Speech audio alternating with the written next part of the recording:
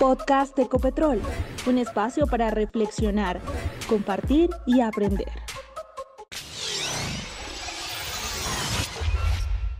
Saludamos a todas las personas que nos escuchan y nos ven en Podcast Ecopetrol, un espacio diseñado para conversar de estos temas que no solo se están dando en la empresa, en Colombia, sino en el mundo. Hoy tenemos un tema bastante especial y tiene que ver con la nueva estrategia de ciencia, tecnología e innovación que el grupo Ecopetrol está estrenando, la red Econova que habla de los centros de innovación regionales y que al final de cuentas esto puede ser como un importante habilitador para la transición energética del país. Pero ¿cuál es el impacto que tiene esta estrategia en el grupo Ecopetrol? ¿Cuáles son sus ejes? ¿Qué beneficios podrían tener para las regiones y los emprendedores? Pues para responder estas inquietudes tenemos a dos invitados. Eh, hoy nos acompaña María Jimena Copete, ella hace parte del equipo de estrategia corporativa. María Jimena, muchas gracias por estar aquí con nosotros.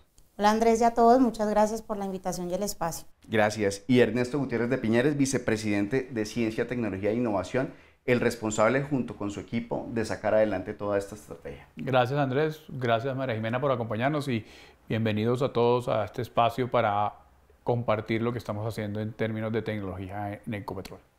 Eh, gracias, Ernesto. Pues para comenzar, yo creo que es importante mm, irnos como a la base, a ese concepto de innovación. Usamos esta palabra para casi todos los temas, pero desde el punto de vista de ustedes, ¿qué es la innovación? Y arranco contigo, María Jimena. Bueno, Andrés, pues muchas gracias por esa pregunta. Para mí, innovación es un arte. Un arte en que consiste en coger elementos o conjugar elementos tradicionales con elementos novedosos para sacar una respuesta nueva a necesidades que son reales y que son existentes. Para mí, innovación es un arte. Un arte, María Jimena. ¿Y para Ernesto? Bueno, mira, eh, eso ha sido una discusión compleja en, este equipo, sobre todo en el equipo de la vicepresidencia, vicepresidencia, que todos somos como tan conceptuales. Entonces, eh, cuando uno mira ciencia, tecnología e innovación y tú dices, bueno, ¿para qué sirve la ciencia? la ciencia produce conocimiento y ese conocimiento se, aplica y a través de la tecnología se desarrolla un producto. Y hasta ahí es como fácil la descripción. Cuando ya le, agregas el para qué la innovación, empiezas a, a, ver elementos adicionales como escalar las soluciones, encontrar formas diferentes de resolver problemas que no necesariamente entiendes. Eh, usas la innovación como un modelo también de descomponer problemas tradicionales para entenderlos y recomponerlos de una manera diferente. A, mí hay una definición teórica de innovación que me gusta mucho. Usted me dijo quién era, pero ya me olvidó. Eh, y es que innovación es ver lo que todos ven, pensar lo que pocos piensan y hacer lo que nadie más hace. Entonces la innovación en el caso nuestro tiene que ver más con terminativa que con iniciativa. Y es llevar a feliz término ideas que realmente transforman o los negocios o las vidas o la sociedad o, lo que nos rodea. Pues innovación es transformar. Entonces, María Jimena, ustedes transformaron una estrategia precisamente para mm, decantar lo que tiene que ver con ciencia, tecnología e innovación. Cuéntanos qué tienen que ver o cuáles son los objetivos y metas que tiene este proceso y esta nueva estrategia. Bueno, yo creo que primero hay que dar un contexto y es que en el 2018 nosotros como grupo entendimos que en la transición energética eran disrupciones tecnológicas y regulatorias que hacían un cambio fundamental a la industria energética. Entendiendo esto, nos dimos a la tarea como equipo a redefinir lo que era ciencia y tecnología e innovación, porque esta estrategia lo que busca es encontrar rutas de solución a los problemas que tenemos enmarcados en nuestra estrategia 2040. Y esos problemas los hemos enmarcado, los hemos, em, los hemos puesto en seis conjuntos, en seis frentes de trabajo. Ahora bien, me preguntas como cuál es la aspiración que buscamos con, con esta estrategia. Realmente lo que buscamos es que seamos un orquestador de ecosistemas, porque esto no lo podemos hacer solos y creo que ese es el primer mensaje. Eh, y, ¿Y por qué lo hacemos? Porque sabemos que tenemos una responsabilidad de generar valor a través de ciencia, tecnología e innovación un valor que, que, no es solamente para nosotros, sino para el país. Perfecto, María Jimena. Tú mencionas como seis ejes de trabajo. También se le conocen como clústeres. ¿Cuáles son esos eh, seis ejes de trabajo, Ernesto? Bueno, Andrés, mira, eh, complementando o, eh, lo que nos contaba María Jimena, cuando tú coges la, la, estrategia 2040 de Ecopetrol y te das cuenta que lo que estamos diciendo de fondo es Ecopetrol va a ser una compañía del doble de grande de la que es hoy, pero la mitad de ese doble, o sea, un Ecopetrol como lo conseguimos hoy, va a ser basado en soluciones de bajas emisiones.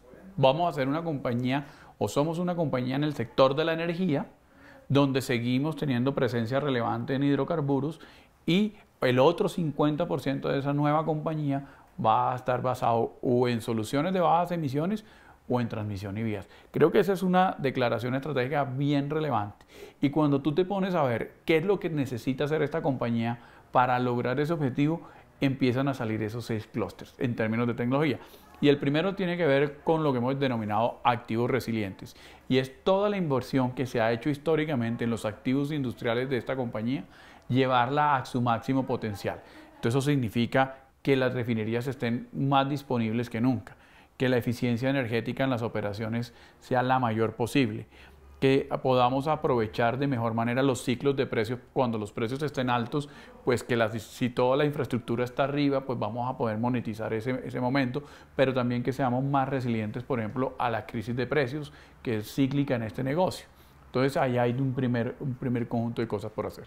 El segundo tiene que ver con la descarbonización, porque esta organización ha dicho que hacia el 2050 quiere ser carbono neutrales en alcance 1 y 2 y por lo menos neutrales en el en 50% del alcance 3. Y eso pasa por dejar de emitir lo que más se pueda dejar de emitir y tenemos que mejorar las tecnologías en, en esa búsqueda de dejar de emitir. Y en el otro ángulo tenemos la compensación.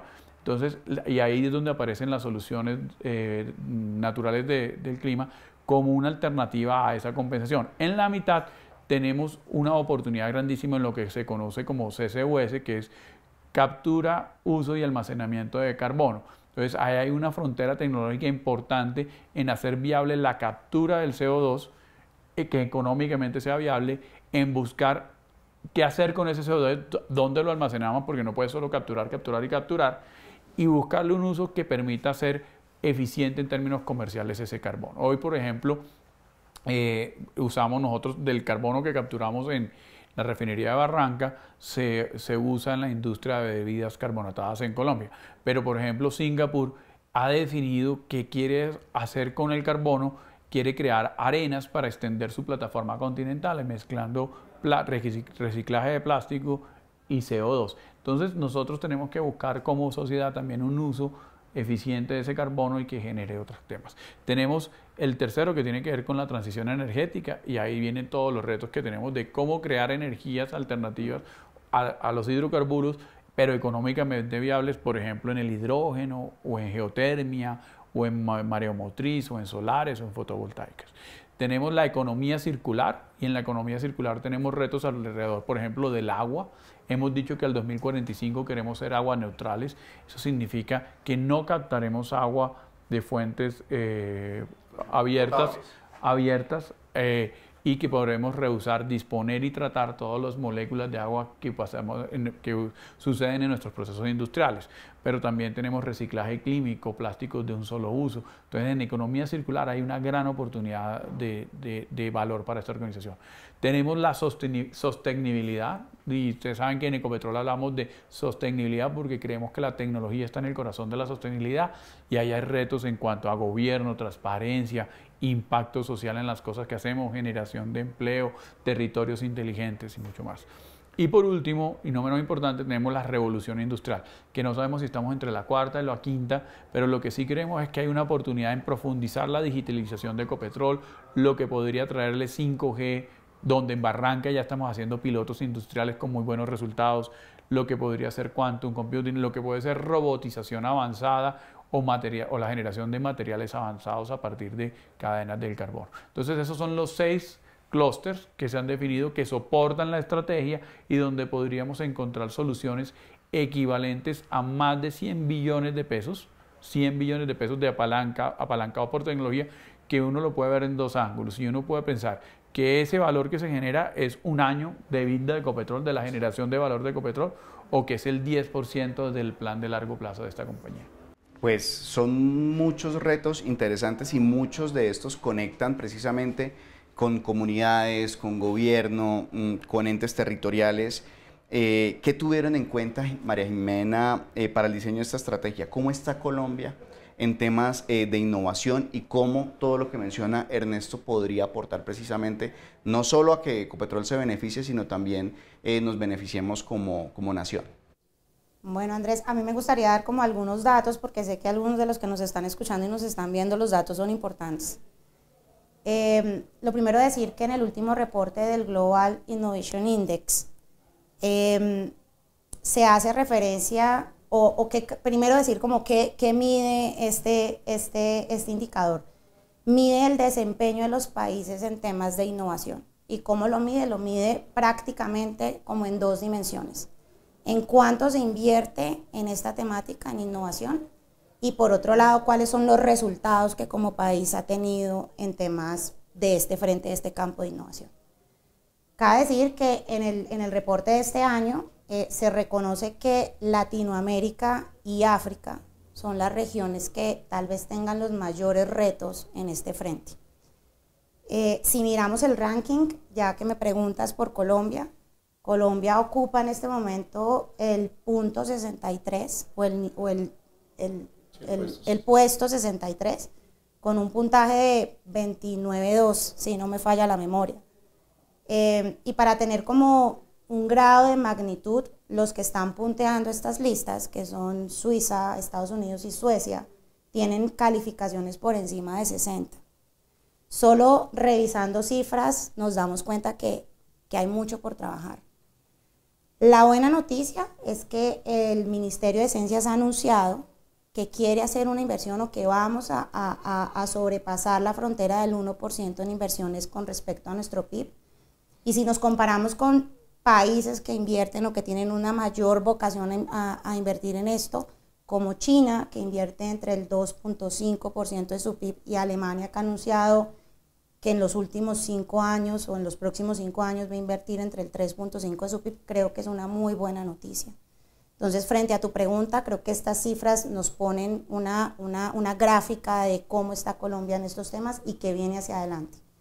Pero yo creo que lo más importante y el rol que tenemos nosotros como grupo es que seamos capaces de trabajar con el gobierno nacional, con las instituciones, con los gremios, con los empresarios, con la academia, no solo nacional e internacional, y lograr que trabajemos no solo ellos, sino nosotros involucrados de una forma articulada para que logremos que primeros como país tengamos una mayor cultura alrededor de ese tema así y que realmente busquemos las soluciones que como sociedad estamos buscando. Entonces, creo que esto nos abre un poco el panorama de dónde estamos, hacia dónde vamos y cómo conecta toda esta estrategia de ese tema así del grupo.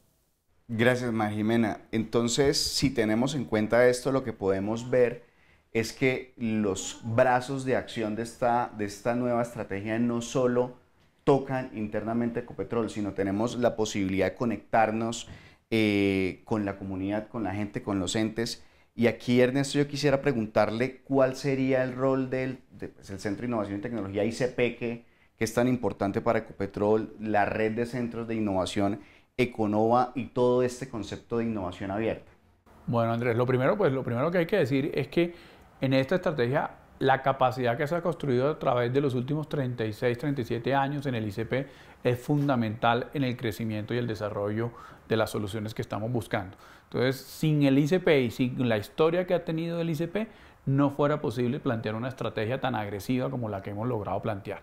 Acá de lo que se trata es de amplificar el campo de acción del ICP y darle más brazos y más herramientas para que esas soluciones tecnológicas que agregan y han agregado tanto valor a la organización se multipliquen. Y por eso lo que le estamos haciendo al país es una propuesta de crear el primer sistema de base tecnológica para la energía, lo que se denomina un Energy Tech, y ustedes han oído que ahora se habla mucho de las fintechs, de las climatechs, de las healtechs. Bueno, nosotros estamos acuñando el término de Energy Tech como un ecosistema de innovación abierta con el ICP en el corazón, en el centro de esa red, para exponenciar las soluciones de base tecnológica en el sector de la energía. Son cinco centros que estamos proponiéndole al país con propósito específico regionales, donde cada región tiene una ventaja competitiva diferente que hacen que se complementen y no se compitan por recursos, por talento y por soluciones. Tenemos el centro de la costa, el centro caribe, que está pensado para la transición energética con énfasis en el hidrógeno, porque Carta y está situado en Cartagena, porque Cartagena tiene una ventaja competitiva en Colombia y es que en el sector de Mamonal, en 10 kilómetros lineales, que es más o menos lo que, lo que mide Mamonal, tenemos una cementera, una siderúrgica, una compañía de fertilizantes, una refinería. Entonces es un enclave productivo propicio para que la economía del hidrógeno y la transición energética se desarrolle, porque serían los hiperconsumidores del futuro de eso. En Santander tenemos ya un centro que se llama Seinnova y lo estamos evolucionando, pero en Seinnova tendríamos la base de lo que hemos denominado activos resilientes y la descarbonización. ¿Y qué ventaja tenemos en Santander? Que ahí tradicionalmente se ha desarrollado esta industria, entonces hay mucho conocimiento técnico para elevar ese nivel de resiliencia a los activos, pero también es donde tenemos los primeros pilotos profundos de descarbonización de la organización a través de tomar el CO2 que se emite en la refinería de Barranca y usar posiblemente yacimientos donde alguna vez hubo hidrocarburos o gas para almacenar ese CO2 en la región. Entonces ahí hay una ventaja competitiva. En los llanos estamos pensando abrir un centro para la biodiversidad, economía circular y el agua, porque pues los llanos es la puerta, los llanos es la puerta de entrada a la biodiversidad, a la, a la, es la cabecera del Amazonas, es, creo que tiene eh, un alto potencial de las especies y la biodiversidad colombiana está concentrada en esa zona, entonces ahí hay una ventaja competitiva. En Bogotá estamos pensando que sea el centro de la quinta revolución industrial, porque pues acá se ha venido desarrollando la industria digital y están las capacidades eh, para, esa, para esa, esa visión. Y por último tenemos el centro de, Antioquia, Medellín, que tiene que ver con el tema de transmisión energética y vías, porque pues ISA, como parte del grupo Ecopetrol, pues está situada en esa ciudad, pero también está cerca de Hidroitango, también está cerca a, muy cercano a BPM y a un, y y a un clúster o un ecosistema que se ha venido desarrollando a través del tiempo en esa temática de transmisión energética. Entonces, para redondear, esta red de innovación abierta este, este, primer ecosistema de Energytech que queremos que sea de carácter regional, tiene su base, su fundamento en la capacidad que se ha desarrollado en el ICP. Aquí solo estamos pensando en fortalecer, crecer y exponenciar el ICP. Nadie en ningún momento ha pensado en, en una estrategia contraria. Y la forma de amplificarla es a través de estos centros de innovación, creando un modelo de ecosistemas que a su vez tenga asiento o pueda ser par con el mundo en otros ecosistemas, pero, pero de igual a igual, no es subordinados, sino que con todo ese talento que hemos logrado desarrollar en Colombia, en el, en el ICP, en Ecopetrol, podamos estar de eh, igual a igual hablando con Israel, con España, con Alemania o con Asia eh, eh, en las temáticas que, que también hay que decirlo, son globales, porque la descarbonización no es un problema colombiano, es un problema del planeta, la transición energética, el cambio climático, el agua, son problemas globales y lo que nosotros necesitamos hacer es unirnos en un propósito común. Gracias Ernesto. Viendo pues este panorama que usted nos plantea de los centros, es como ampliar eh, los campos de acción y teniendo la coyuntura de la estrategia, lo que mencionabas al comienzo de legislación, de transición energética, ¿Cuál crees, María Jimena, que pueda ser la clave para sacar adelante esta estrategia de ciencia, tecnología e innovación? Andrés, creo que sin lugar a dudas las personas. Em, esta estrategia sin personas, sin una cultura, con todos estos componentes que vamos a, es imposible de cumplir. yo creo que el mensaje principal acá es las personas y la cultura que debemos, si la tenemos, seguirla manteniendo y lo que nos haga falta, cada vez empoderarnos más de esta temática que es, que es nuestra y, sin lugar a dudas las personas. Y desarrollar la capacidad pues de, los trabajadores no solo y en estos centros, de los colombianos en general. Al final de cuentas lo que buscamos es sacar adelante la estrategia. Eh, bien, yo quisiera preguntarle a Ernesto, mm, ¿qué puede hacer un trabajador de Ecopetrol, del grupo Ecopetrol, que nos está escuchando y que tiene de pronto alguna idea para que la pueda desarrollar, implementar, cómo se articula este sistema eh, con las personas que trabajan en el grupo? Mire, hay varios mecanismos, pero Lo primero es que a través de la misma estructura de, la vicepresidencia de los centros, son centros abiertos, cualquiera puede acceder a acercarse. Eh, nosotros estamos haciendo jornadas de innovación o de captura de ideas para innovación en todas las regiones, en todos los sitios. Eh, nosotros esperamos que en el, próximo año haber recorrido el 100% de Ecopetrol para sentarnos con las personas y capturar esas buenas ideas. Por lo general, la gente eh, en la operación tiene mucho más sensibilidad de dónde están las oportunidades que nosotros desde o la administración o, desde la dirección de la compañía. Entonces ahí hay un primer mecanismo. Otro mecanismo es a través de las mismas estructuras que tienen los negocios hoy. Casi todos los negocios hoy tienen un área de tecnología propia eh, o de desarrollo tecnológico. Entonces a través de, de estas áreas, bienvenidas todas las ideas y todos los mensajes y, bueno, la, invitación fuerte es a creer en este proceso, a participar activamente, a atreverse a proponer y, a participar. Porque pues al final de cuentas eh, usted y su equipo lideran la ejecución de la estrategia, pero es toda la organización la que se moviliza para alcanzar las metas. De acuerdo, Andrés, y creo que has dado en un punto supremamente importante. La estrategia de tecnología de la organización es de todos, es de los negocios. Nosotros somos un vehículo que facilita, digámoslo, metodológicamente algunas cosas. Tenemos una capacidad, como, ya se los había dicho, de desarrollo superior en el ICP. Pero a la final todas estas acciones y todo este ejercicio que se hace es para cerrar las brechas en materia tecnológica que tiene la estrategia y la estrategia se debe a los negocios. María Jimena, un último mensaje para la gente que nos está escuchando, que nos está viendo en Podcast Ecopetrol pues quiero retomar un poco lo último que dice Ernesto y, puede sonar un poco libreteado, pero es cierto. O sea, lo primero decir que esta estrategia es de todos y para todos. Y yo creo que debemos apropiarnos realmente de esa frase. Y algo que, que, tal vez no lo hemos mencionado durante toda esta conversación, pero yo sí quiero decir que en el proceso de innovación se falla. Y no debemos tenerle miedo a eso. Todo lo contrario. Debemos reconocerlo, aprender de ese proceso y continuar innovando. Yo creo que solo si llegamos a esa capacidad de reconocer que en el proceso se falla y reconocemos y continuamos y seguimos, vamos a poder realmente entender ya qué es innovación y hacer lo propio y lograr toda esta aspiración y todas estas metas y todo lo que nos ha mencionado Ernesto. Entonces yo quiero decirle a todos los que nos está escuchando que caer en el intento no es fallar el error es parte del es proceso. parte del proceso. Entonces, eso es fundamental y que no le tengamos miedo. Eso es lo más importante para mí. Y Ernesto, un mensaje final. Mira, yo pues complementando y uniéndome a lo que nos cuenta Jimena, aquí hay dos cosas que esta organización está tratando de hacer para generar el, el, el ambiente propicio para que esto fluya. Y lo primero se llama seguridad psicológica. La seguridad psicológica significa que esas fallas que no tienen que ver con dolor, ni mala fe, ni nada de estos temas, sino simplemente es parte del proceso de aprendizaje, tengan un espacio seguro para desarrollarse. O sea, aprender de los errores, errar rápido para corregir rápido, robustecer, volver a intentar, prototipar, atreverse en pruebas de conceptos, son parte fundamental del proceso de innovación. Y eso necesita un espacio de seguridad psicológica donde todos entendamos que eso es parte del proceso.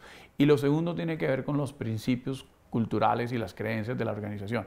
Y por eso, si ustedes ven, nuestros principios culturales se, afianzan en primero la vida, pero dentro de los principios culturales también está la innovación. Y nosotros la verbalizamos diciendo que en Ecopetrol hacemos posible lo imposible.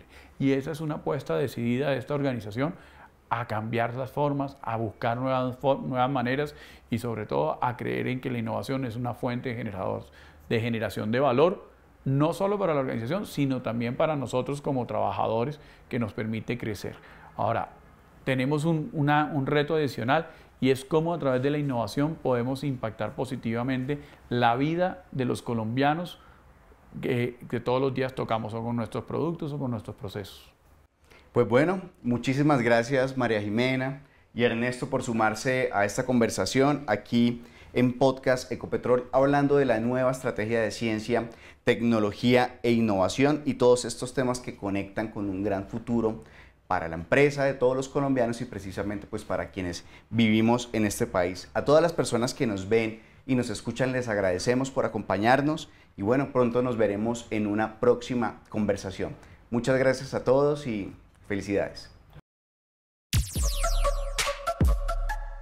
Podcast Ecopetrol, un espacio para reflexionar, compartir y aprender.